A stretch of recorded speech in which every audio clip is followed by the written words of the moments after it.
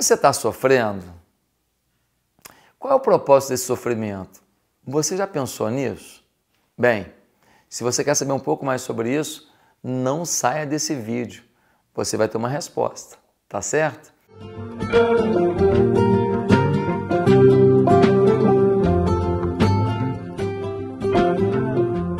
Agora, deixa eu te pedir uma coisa.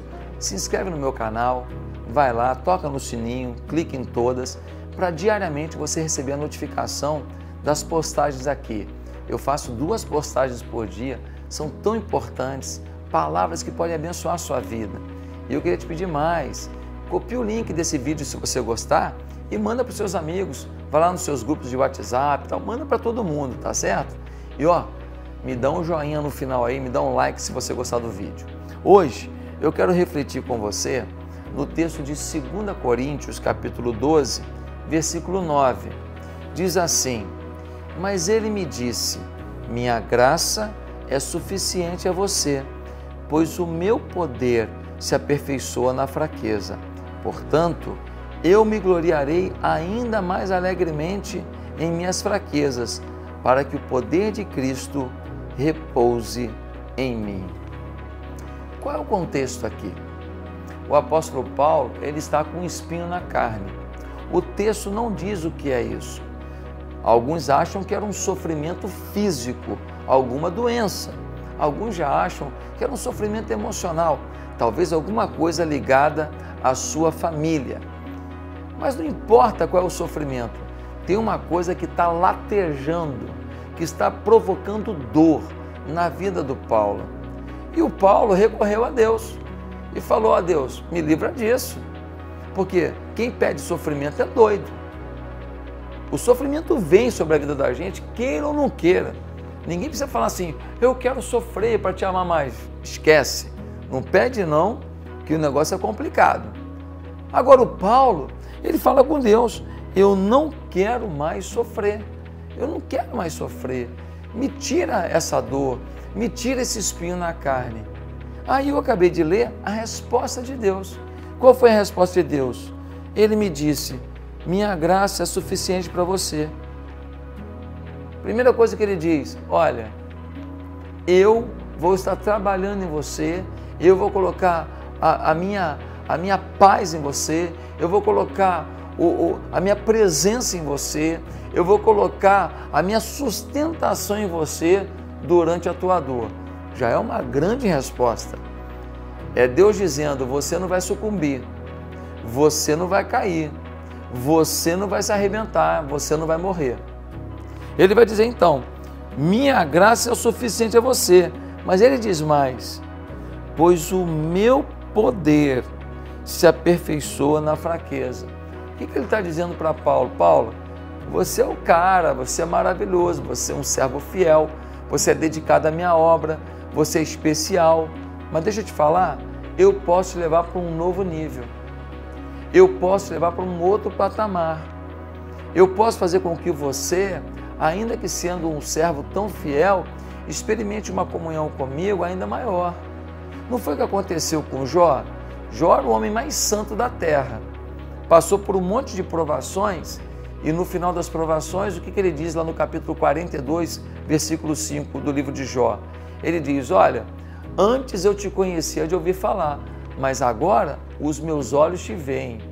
Até o Jó, que a Bíblia diz no capítulo 1 que era o homem mais santo da terra, o homem mais comprometido com Deus da terra, até o Jó podia ir para um novo patamar, podia vencer um, um obstáculo e ver a glória de Deus de outra forma. Que coisa impressionante.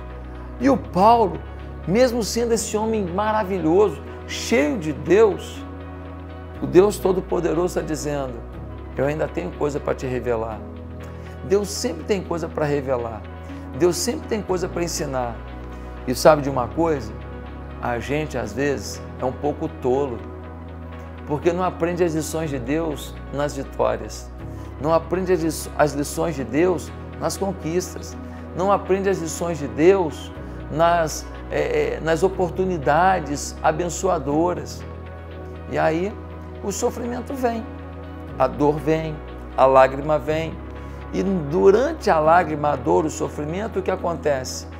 Deus se revela, Deus se manifesta, Deus ensina, Deus trabalha a nossa vida. E Ele vai falar: o meu poder se aperfeiçoa na fraqueza. Ou seja, quando você está fraco, você olha para mim. É o Deus Todo-Poderoso dizendo. Quando você está fraco, você depende de mim. Quando você está forte, você acha que é você. Quando você está forte, você acha que você é capaz. Mas quando você está fraco, quando você está diante de uma situação que você não tem domínio sobre ela, você descobre que eu sou Deus, que eu te amo, que eu tenho todo o poder e que até onde você chegou tem a ver comigo e até onde você vai chegar tem a ver comigo também. Ele continua dizendo, o apóstolo Paulo, portanto, eu me gloriarei ainda mais alegremente em minhas fraquezas, para que o poder de Cristo repouse em mim. O que, ele está dizendo? Que ele vai se alegrar muito mais, mas muito mais nas fraquezas. Mas por que, que ele está dizendo isso? Porque ele quer sofrer? Não. Porque o próprio Deus disse que o poder se aperfeiçoa na fraqueza do Paulo. E Paulo diz: se é para ter o teu poder, eu vou me alegrar com a minha fraqueza. Se é para ter o teu poder, eu vou me alegrar com a minha luta. Se é para ter o teu poder, eu vou me alegrar com o meu desafio. Se é para ter o teu poder, eu vou me alegrar até com as lágrimas que eu estou derramando, porque elas me fazem olhar para ti, te amar de verdade, viver para o Senhor. Eu não sei se você está vivendo um momento de sofrimento e você está produzindo rancor, ressentimento, tristeza, murmuração, guerra com Deus. Deus está falando para você: faz isso não. O meu poder se aperfeiçoa na tua fraqueza. A minha graça te basta. A minha presença te basta. Fica comigo, se apegue a mim, que a minha graça vai te sustentar. E quando você sair do problema, você vai sair melhor. Você vai sair uma pessoa mais esclarecida sobre quem eu sou, o que eu faço e o que eu posso fazer. Deus não manda sofrimento para a nossa vida de bobeira. Deus permite o sofrimento da nossa vida por propósitos. Todo sofrimento ensina mais do que uma vitória.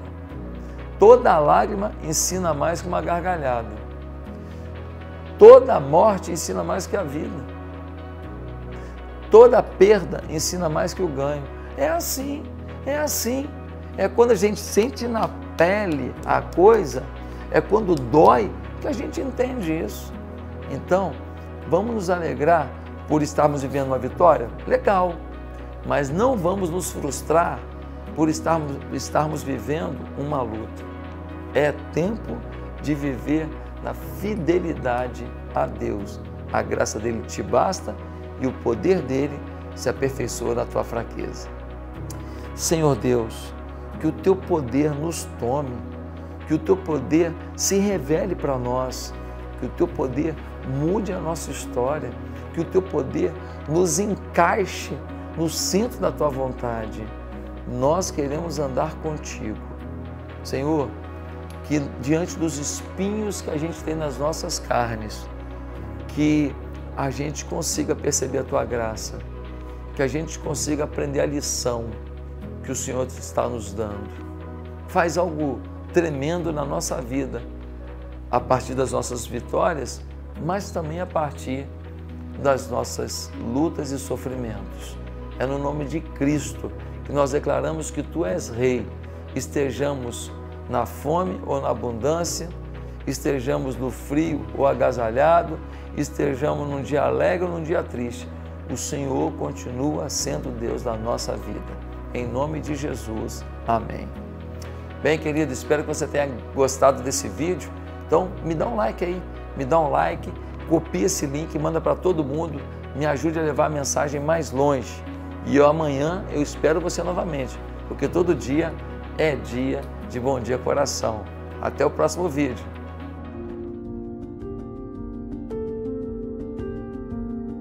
Você tem enfrentado gigantes como medo, culpa, desânimo, ressentimento?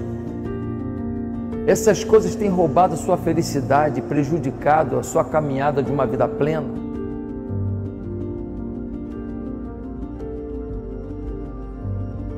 Quer viver uma vida de mais paz, de mais perdão, de mais tranquilidade? Eu quero te ajudar nisso.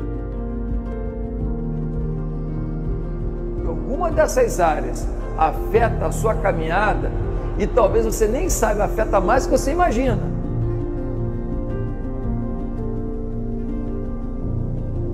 Você nasceu por sucesso, você nasceu para brilhar, mas você precisa fazer a sua parte. Esse é o tempo. Você está no caminho da vitória.